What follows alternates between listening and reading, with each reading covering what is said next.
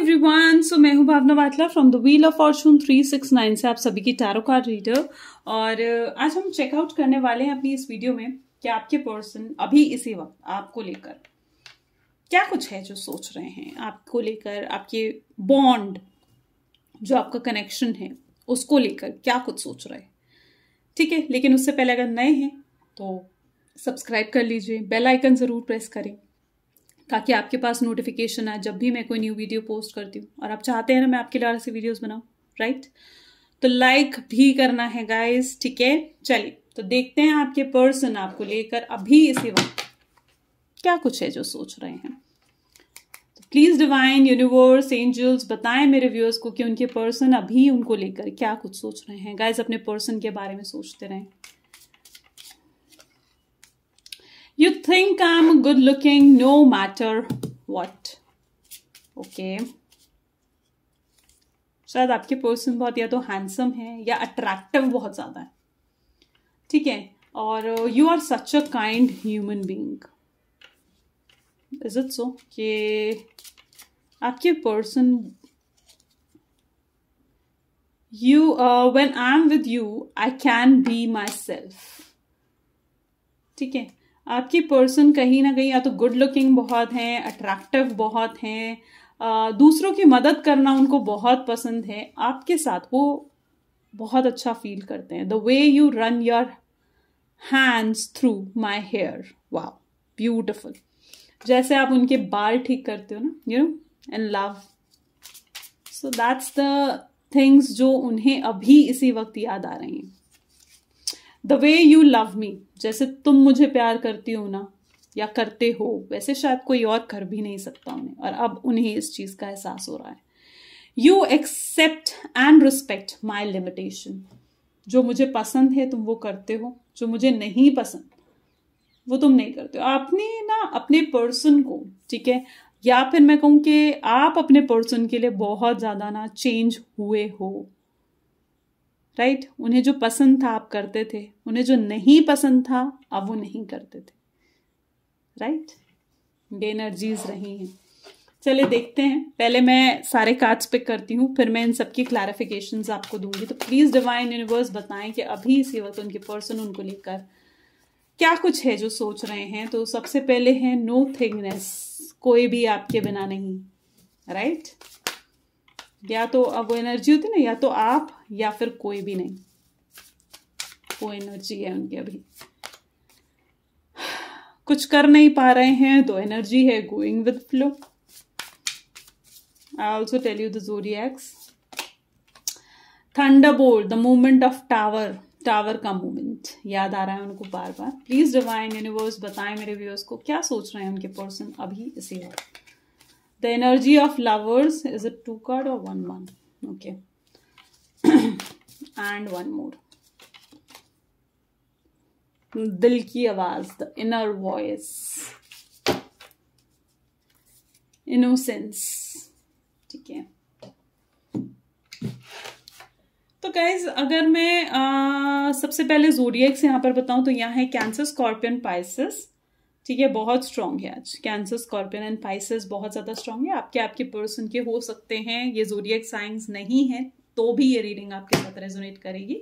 But ये mainly highlighted जोरियक science है। यानी इन जोरियक साइंस के लिए बेसिकली ये रीडिंग और ज़्यादा एक्यूरेट हो जाती है। ठीक है? चलिए। तो uh, यहाँ पर मुझे सबसे पहले ये चीज़ दिख रहा है कि अगर हम अभी की एनर्जी देखें ना आपके पर्सन की ठीक है तो वो बिल्कुल ना एक ठहराव में है। यानी रुके हुए हैं। ठीक है, आगे कोई एक्शन नहीं ले रहे हैं। कोई सब कुछ बिखेर दिया। एक वो सिचुएशन होती है ना कि सब कुछ बिखेर दिया। ठीक है, लेकिन समेटने का जब नंबर आया ना तो चुपचाप पीछे हाथ पे हाथ धर के बैठ गए। कि अब तो भैया जो होना है वो होगा। वो कहावत है ना, अब होत क्या जब चिड़िया चुग गई खेत? अब पछताए होत क्या जब चिड़िया चुग गई खेत राइट वो उनकी सिचुएशन है। कि अब आप अलग हो चुके हो। जब आपके साथ अलग होना था ना, जब नो कांटेक्ट में जाना था, जब मूव ऑन करना था तो आपसे ऊपर किसी और को चूज़ भी कर लिया, आपको धोखा भी दे दिया मूव ऑन भी कर गए। आपसे बदतमीजी से बात भी करी, आपको रुलाया भी, दर्द भी दिया, तकलीफ़ भी दी और उसका एहसास भी नहीं करा। और अब जब नंबर आ रहा है आपसे रीयूनियन रिकन्सिलेशन करने का तो उनकी एनर्जी है गोइंग विथ फ्लो क्या एनर्जी है उनकी? गोइंग विथ फ्लो कि जो होगा देखा जाएगा। हम्म है ना? वो एनर्जी आपके पर्सन की अभी राइट नाउ की है। मे बी आपके पर्सन बहुत गुड लुकिंग है। नहीं तो गुड लुकिंग नहीं तो अट्रैक्टिव इतने हैं कि काफ़ी लोग हैं उनके पीछे। चाहे इट्स अ बॉय और अ गर्ल रिलेशनशिप में ऑलरेडी हो सकते हैं, हो सकता है मैरिड है। लवर्स की एनर्जी उठकर आई है। Third party situation extra marital affair के चांसेस ऑलरेडी कोई गर्लफ्रेंड बॉयफ्रेंड है, ठीक है? और या फिर फैमिली जो है वो एग्री नहीं कर रही है मैरिज के लिए। ट्रेडिशन कास्ट के डिफरेंसेस की वजह से। ठीक है तो ये सिचुएशन तो है आपके रिलेशनशिप में। कमिटमेंट नहीं मिल पा रही है। ठीक है, और आपके पर्सन जो हैं, ठीक है बहुत अट्रैक्टिव हैं। ठीक है, बहुत अट्रैक्टिव है।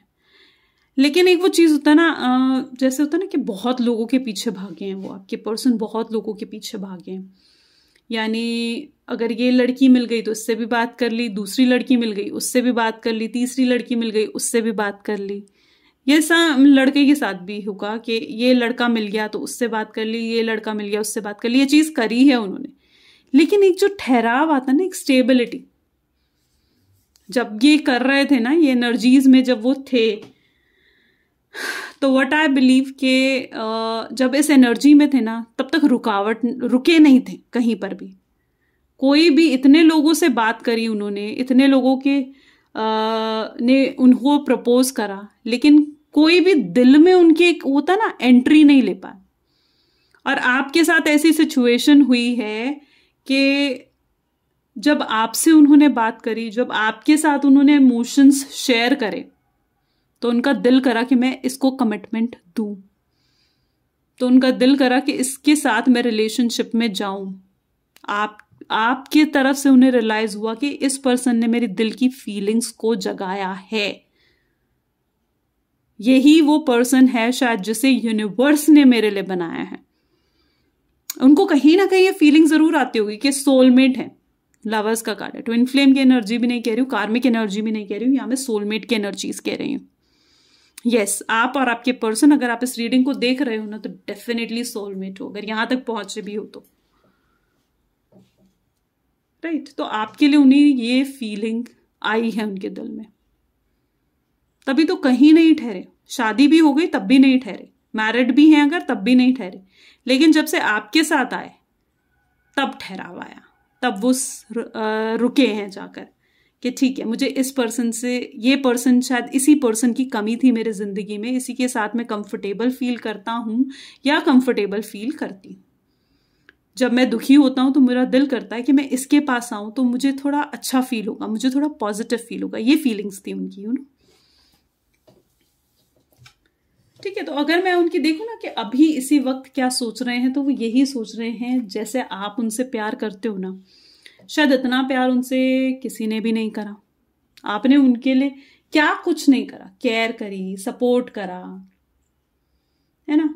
दूसरों से झूठ बोला इवन कई बार फैमिली से भी झूठ बोलकर आप इनसे मिलने आए। है ना? तो वो चीज़ को रियलाइज़ कर रहे हैं कि इतना प्यार, जब से आपने उन्हें स्पेसिफिकली ये गैप दिया है, ये टावर मूवमेंट दिया है, उसके बाद से ये फीलिंग उनकी और बढ़ गई है कि इतना प्यार मुझे कोई और नहीं कर सकता, जितना इसने करा है मुझे। ऐसे बालों में हाथ फेरना, ठीक है? आपके साथ वो खुद फील करते थे कि मैं खुद हूँ, उन्हें बदलने की ज़रूरत नहीं है। इतना कंफर्टेबल वो आपके साथ फील करते थे राइट right? तो कहीं ना कहीं अंदर से उनके दिल की आवाज़ यही है इनर वॉइस के नीचे ये कार्ड के ऊपर ही ये कार्ड आया है कि दिल की कहीं ना कहीं आवाज़ यही है कि इतना प्यार शायद मुझे कोई और नहीं कर सकता था थंडर बोल्ड टावर मूवमेंट बार बार उन्हें अभी भी याद आ रहा है। ये टावर मूवमेंट के उन्होंने आपके साथ चीटिंग करी, उन्होंने आपके साथ गलत करा, उन्हें ऐसा नहीं करना चाहिए था। इतना दर्द उन्होंने आपको दिया। ठीक है? और वो खुद ही को सजा भी दे रहे हैं यू नो जहाँ तक कि मुझे उनकी एनर्जी दिख रही है ना, वो खुद ही को सजा दे रहे हैं इन गलतियों की। उन्हें ऐसा लग रहा है कि मैं इसके लायक ही नहीं खुद ही नेगेटिव होकर बैठे हुए क्या शायद मैं इसके लायक ही नहीं हूँ? वो एनर्जी है उनकी। क्या वो मुझे माफ़ करेगी भी या नहीं, या वो मुझे माफ़ करेगा भी या नहीं? उस एनर्जी में इसलिए बात करने से भी पीछे हटते हैं कॉल मिलाते होंगे मैसेज करते होंगे, पर डिलीट कर देते हैं। कॉल के बटन तक पहुँचते ही नहीं। Right right? तो ये उनकी कुछ अभी की एनर्जी है इनोसेंस की एनर्जी भी है।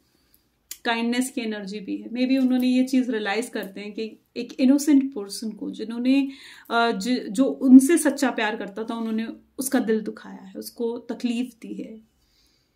And that's the energy today okay so अगर आपके साथ रेजोनेट करी तो डेफिनेटली लाइक करें शेयर करें। एंड मुझे कमेंट्स में बताएँ। This is all for today thank you bye take care